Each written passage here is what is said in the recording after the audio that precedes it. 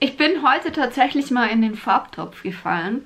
Wie ich das hier mache, zeige ich dir auf jeden Fall nach dem Intro. Äh, denk daran. Ich probiere mich hier aus. Ich habe mich schon lange äh, nicht mehr so farbig geschminkt. Und ich hatte jetzt einfach mal wieder Bock, weil ich noch ein paar farbige Lidschatten hatte. Bevor ich ins Quatschen komme, lass uns loslegen nach dem Intro.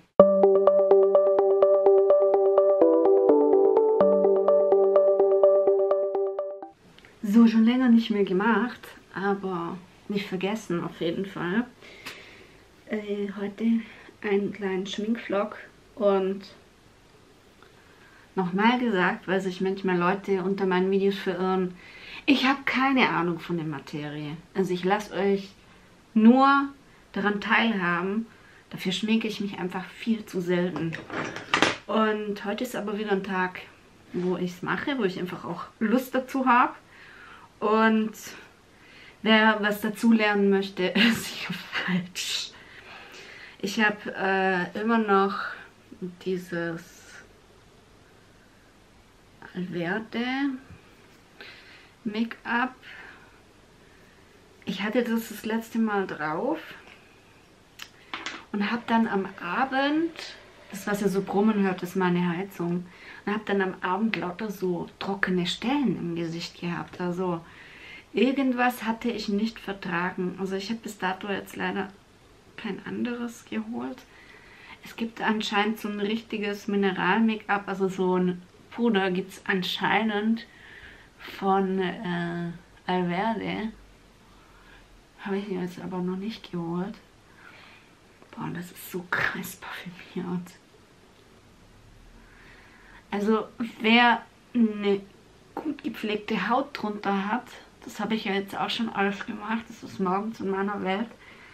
Wer eine gut gepflegte Haut hat, der dürfte beim Auftragen keine Probleme haben, aber wer so ein bisschen mehr in Richtung trockene Haut geht, der wird mit dem Make-up keinen Spaß haben, weil das setzt sich schon ab und das wird sich natürlich bei mir auch absetzen.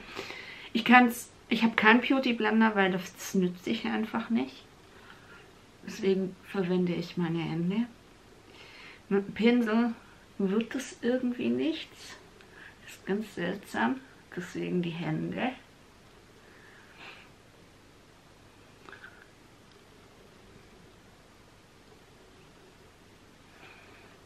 Ja. Ich hoffe, es geht euch gut.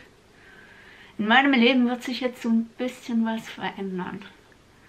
Ich habe es auf meinem Zweitkanal, falls du den nicht kennst, minimalistisch, intuitiv, äh, vegan, es immer mal wieder so ein bisschen angeteasert. Ich habe jetzt tatsächlich über das Projekt, wo ich drin bin, das ist ein gutes Projekt, habe ich tatsächlich jetzt eine Stelle höchstwahrscheinlich. Ich sag nicht wo, weil ihr wisst ja, das Internet ist manchmal ein bisschen...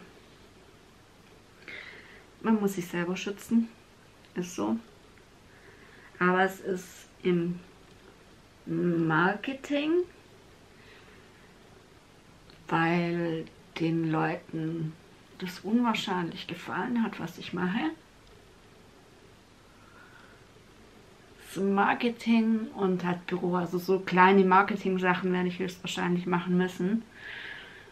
Ist eine Teilzeitstelle, so wie ich mir das vorgestellt habe, damit ich irgendwie YouTube-Sache weitermachen kann auch. Die wächst zwar nur langsam, aber im Gegensatz zu den Jahren davor habe ich eigentlich immer gute und vernünftige Einnahmen. Ich werde hier über meine Einnahmen nicht sprechen, weil ich weiß ganz genau, wenn ich das mache, da regen sich dann wieder einige auf. Frei nach dem Motto, ich habe mal ein Video über Leistungsdruck gemacht und äh, nur YouTuber sein, das ist ja in der Welt da draußen nicht angesagt.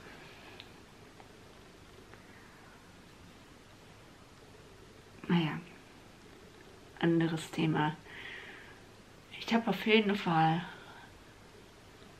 jetzt am Mittwoch mit der, der, das, der die das Projekt leitet und äh, demjenigen, wo ich dann arbeiten werde, ein Vorstellungsgespräch. Ich bin normalerweise bei Vorstellungsgesprächen immer gerne alleine, also naja, ich werde es rumkriegen. Also wenn du das Video siehst, ist natürlich alles schon gelaufen.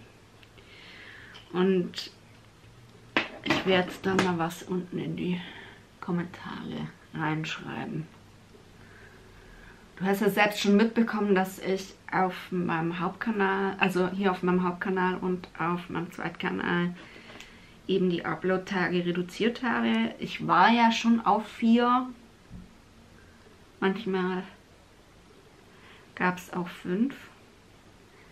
Es wird jetzt in Zukunft so sein, dass es eventuell auch mal weniger gibt, bis ich mich an den Rhythmus gewöhnt habe. Es ist ja noch eine Teilzeitstelle.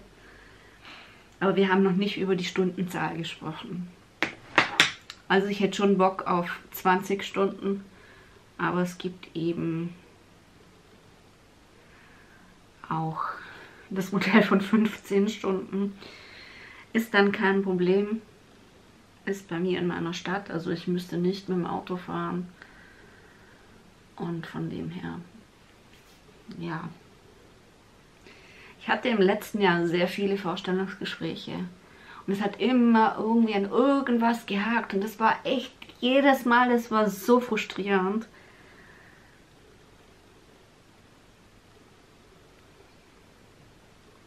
Ja, und jetzt tatsächlich etwas in dem Bereich, wo ich mich halt auch auskenne.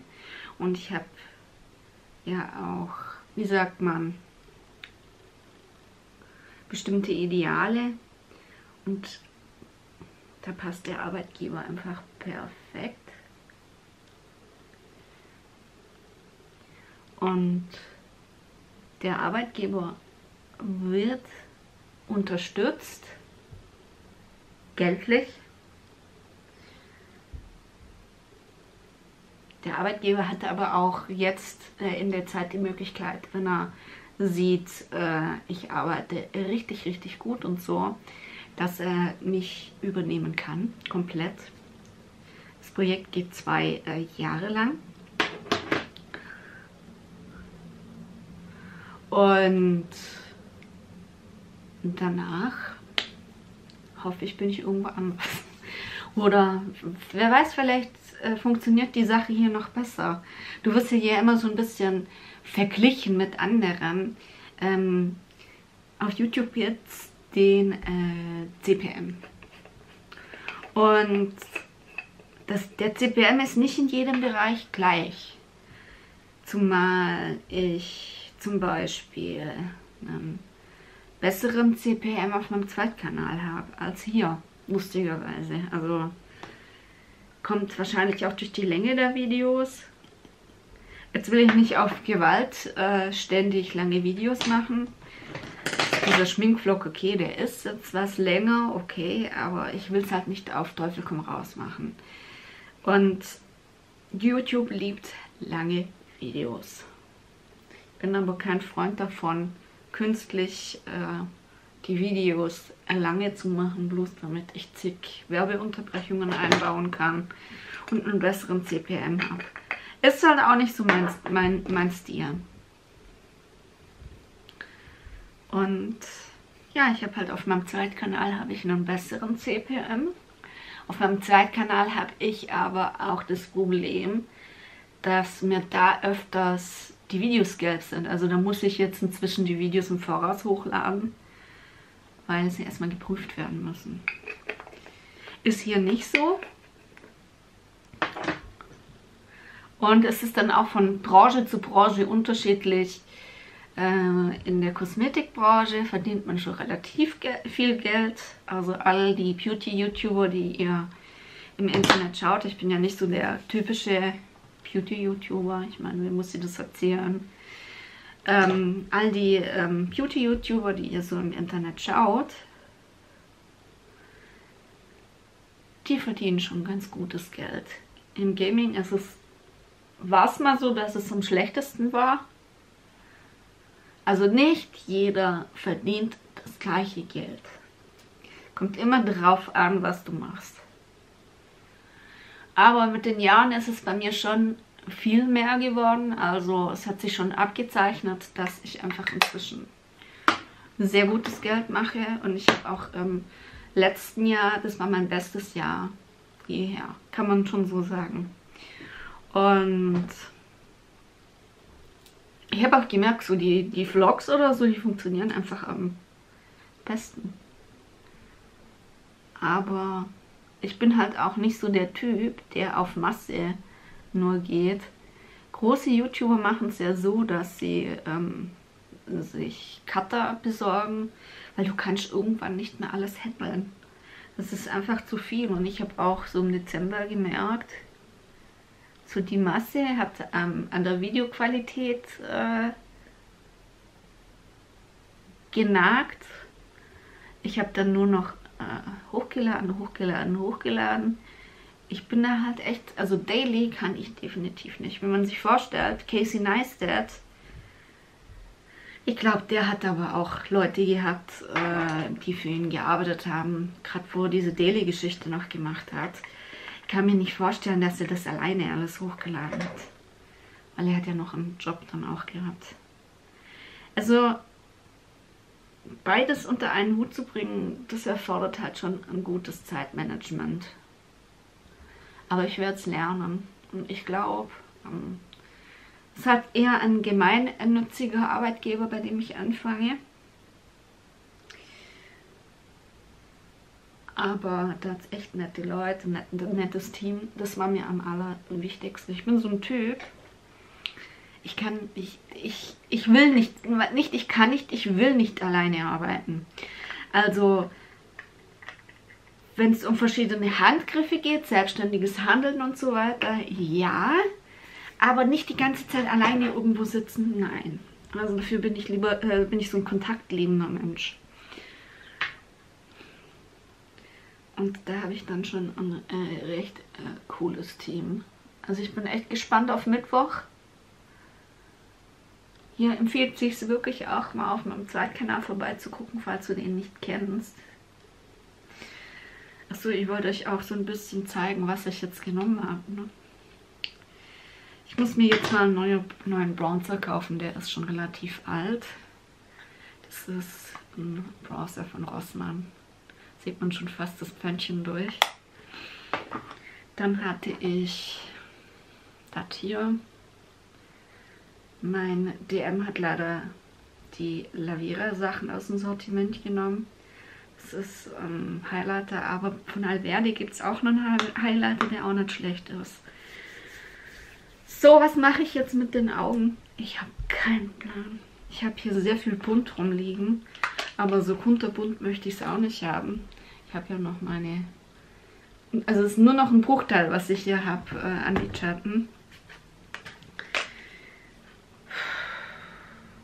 Was machen wir? Ich glaube, ich trage auf dem Auge Concealer auf. Habe ich den gezeigt? Das ist der ähm, Sensitive Concealer von Alverde. Der ist von der Konsistenz her echt nicht schlecht. Ich glaube, so ein bisschen zum Abdecken mache ich was drauf. Hoffentlich war das jetzt keine schlechte Idee. Das ist halt das, ich habe die Erfahrung halt gar nicht mehr. Aber ich habe auch äh, festgestellt, dass mir das einfach wieder so ein bisschen mehr gefällt. So ein bisschen äh, bunter zu arbeiten. Aber so das Ausmaße von früher werde ich nicht mehr reinrutschen. Sondern das sind mir halt meine äh, Ideale, die ich für mich halt so beschlossen habe, sind mir halt wichtiger. Sprich tierversuchsfrei, Minimalismus. Ich möchte mir halt nicht mehr Zeug ohne Ende ähm, anschaffen und es dann hinterher wieder wegschmeißen, weil ich habe in der Zeit, wo ich jetzt aussortiert habe, habe ich schon immens viel Zeug weggeworfen. Also dieser neue Arbeitgeber weiß auch, dass ich im äh, Internet auf YouTube sehr aktiv bin. Ist richtig cool. Und diese Projektleiterin, die mich da jetzt reingebracht hat, das ist so eine richtig coole. Es hat nun mal Fakt, ich äh, war jetzt längere Zeit äh, in keinem festen Arbeitsverhältnis mehr. Und durch das, dass ich halt äh, die Probleme beim Stehen habe, fallen verschiedene Sachen einfach weg. Das ist einfach richtig scheiße.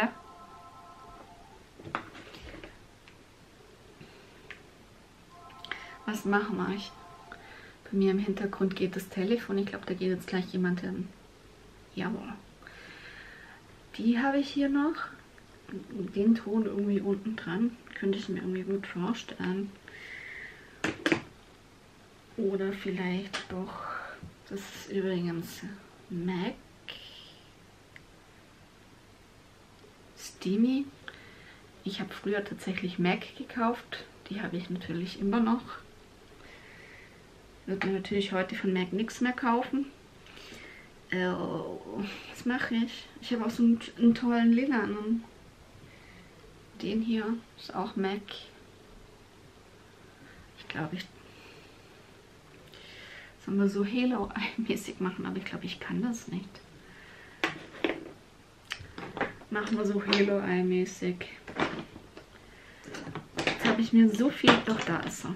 Jetzt habe ich mir so viel, äh, wollte ich gerade sagen, ähm, Pinsel hergelegt. Plus Lidschatten.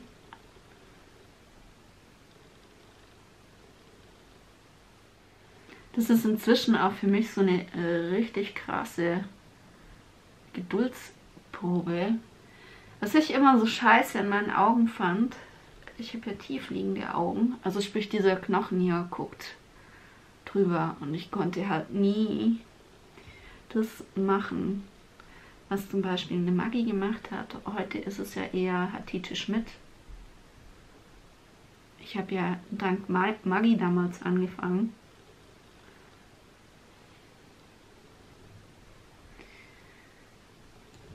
Der Lidschatten ist eher ein bisschen ungeeignet für mich, sehe ich gerade, weil ich ja jetzt doch schon in einem Alter bin, wo ähm, ich kleine Fältchen um die Augen habe und er schimmert. Und Schimmer bedeutet immer, dein, ähm, deine Fältchen werden ähm, kommen besser zur Geltung, was ja eigentlich nicht sein soll. Ich muss da noch einen anderen Pinsel nehmen.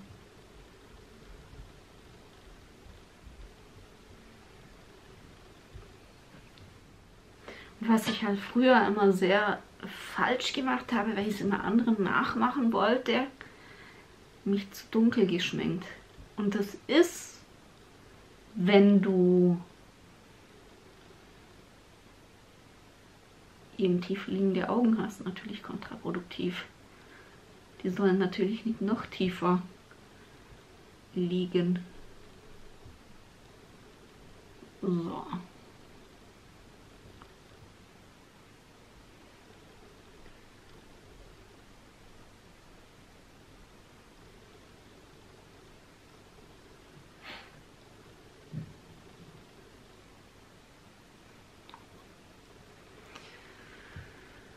So.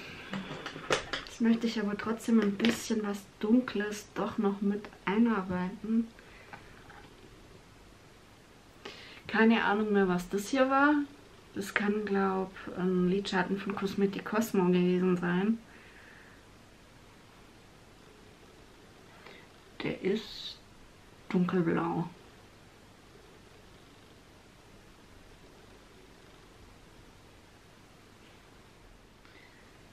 Früher viel so dunkelblau getragen. Oder allgemein blau.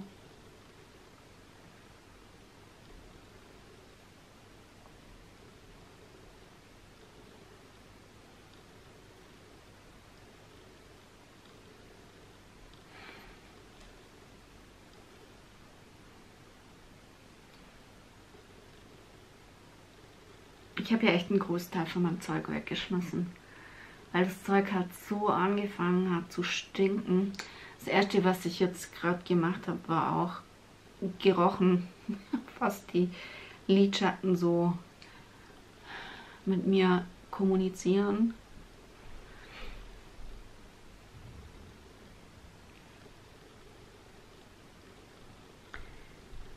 Wo ich mir jetzt schon so ein paar Mal Gedanken gemacht habe, war BH Cosmetics. Die sind ja auch zum Teil vegan, aber auf jeden Fall tierversuchsfrei. Weil so richtig viel Geld ausgeben wie jetzt ähm, die Palette von der Hatice, das würde ich niemals für das schminke ich mich einfach viel zu wenig.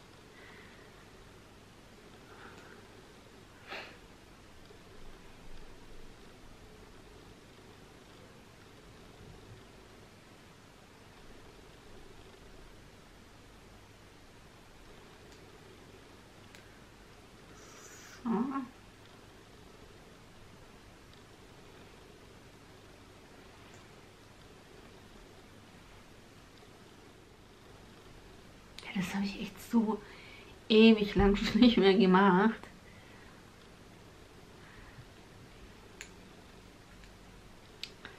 Aber ist, glaube gar nicht schlecht geworden.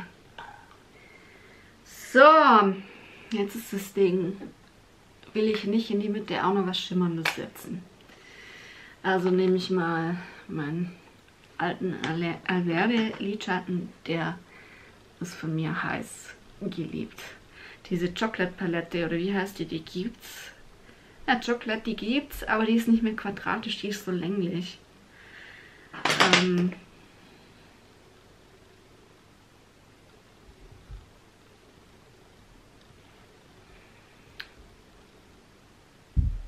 so. Ich merke gerade richtig, dass mir das so ein bisschen wirklich gefehlt hat, weil das war schon so eine Sache, wo ich mich echt gerne ausgetobt habe. Jetzt ist es wichtig, dass ich was unter das Auge noch mache. Also ganz so möchte ich das nicht äh, dastehen lassen. Ähm ich nehme nochmal den lilanen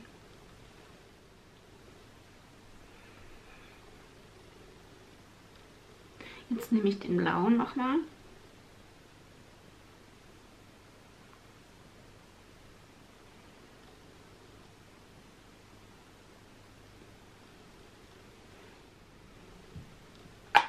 So.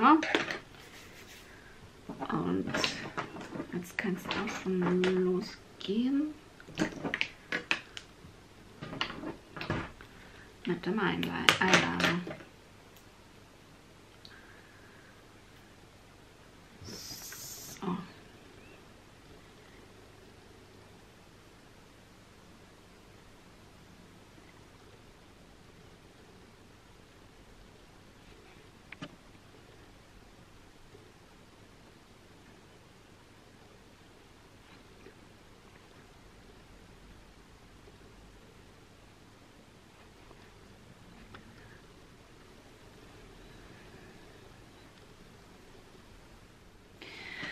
Den habe ich leider ein bisschen verkackt, aber naja, man kann nicht alles haben, oder?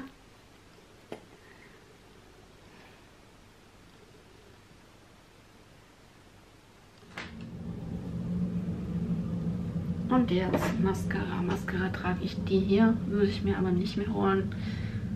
Ist Palmöl enthalten.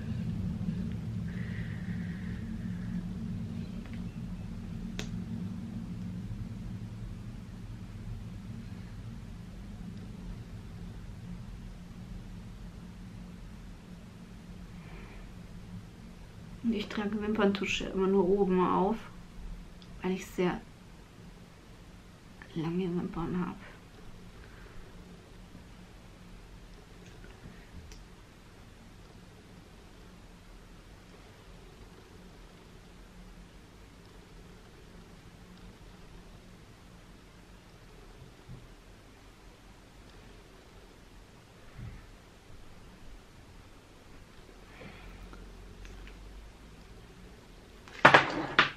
So, jetzt würde ich fast aber noch sagen, gebe ich in den Innenwinkel noch einen Schimmerlidschatten. Das ist der hier, das ist auch ein MAC Lidschatten. Ich glaube, das war, das war der erste, den ich mir nachgekauft habe. Wie heißt denn der? Kann man nicht mehr lesen richtig. Ist aber auf jeden Fall einer von MAC.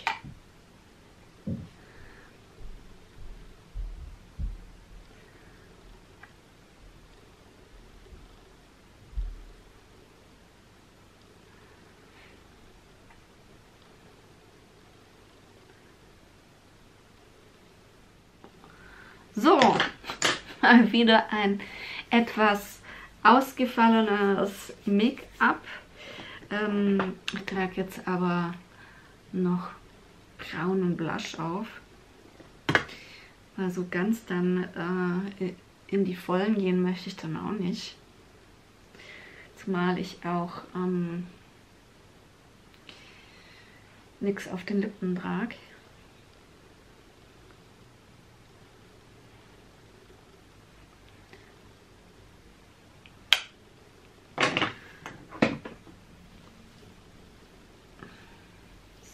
So.